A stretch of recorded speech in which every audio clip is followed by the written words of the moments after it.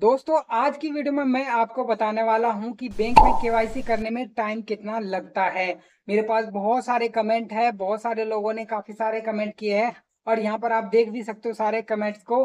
कोई बता रहा है, एक हफ़्ता हो गया, अभी तक नहीं हुआ। कोई बोल रहा बीस दिन हो गया, अभी तक नहीं हुआ। कोई बोल रहा चौबीस घंटे हो गए। ऐसे ही बहुत सारे कमेंट भरे पड़े हैं मेरे कमेंट बॉक्स में इस केवाईसी के लेके। जो एक मेरी वीडियो है, उस पर इतने सारे कमेंट है कि केवाईसी आखिर कितना टाइम लगता है? तो ये इस वीडियो में मैं अपना खुद का एक्सपीरियंस बताने वाला हूँ कि मैं खुद अपने बैंक गया, अपने स्टेट बैंक में और मैंने अपने अकाउंट का जो हमारा भी अकाउंट है उसमें केवाईसी मांग रहा था तो मैं उसको केवाईसी कराने गया। हमें कितना टाइम लगा? सारा कुछ मैं आपको बताने वाला हूँ कि आखिरकार हमें इसमें कितना टाइम लगता है।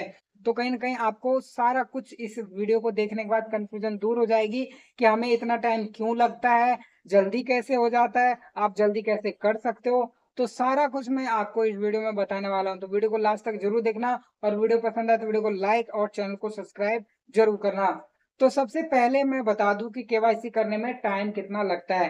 तो देखो, ये डिपेंड करता है आप जो केवाईसी कराने गए बैंक में तो आपका वो बैंक वाला कब किया। जैसे आप फॉर्म वगैरह भर के उनके पास सबमिट कर दिए, अगर आप वहीं खड़े होकर तुरंत हाथ के हाथ आप उसको करवा लेते हो, अगर वो अपने कंप्यूटर में सारी एंट्री आपके डॉक्यूमेंट्स की कर लेती है, वो तुरंत उस टाइम में कर देता है तो आपका केवाईसी है जो एक घंटे के अंदर हो जाता है और वो पूरा प्रोसेस कंप्लीट होने के बाद तुरंत आपका केवाईसी एक घंटे के अंदर हो जाता है।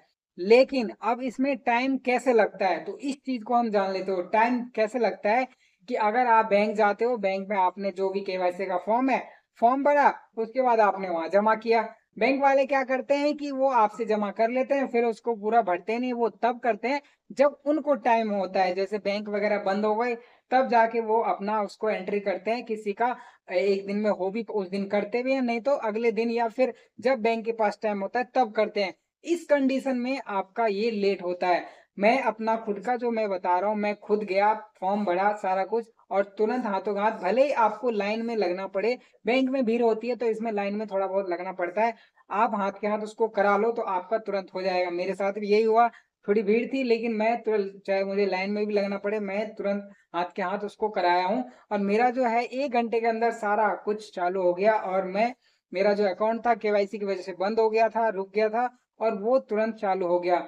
तो यहाँ पर जो है आपको टाइम लगता है। तो कभी भी आप अगर अपने बैंक में केवाईसी करने जाओ तो तुरंत कोशिश करो कि हाथ के हाथ आपका ये करा के आ जाओ। अगर आप वहाँ पर अपने डॉक्यूमेंट को छोड़ के आओगे बैंक को दे के आओगे तो बैंक वो अपने हिसाब से उसको करेगा, जब उसको टाइम होगा या जब बैंक बंद हो जाए, तब उसको करता है। इसमें एक दिन भी लगता है और एक हफ़्ते भी लग सकता है, या आपका 24 घंटे में भी हो सकता है। वो है बैंक के करने के ऊपर। अगर बैंक ने आप आपके डॉक्यूमेंट लेके अपने सिस्टम में उसने सारा कुछ डाल लिया अपडेट हो गया तो आपका है जल्द से जल्द हो जाएगा।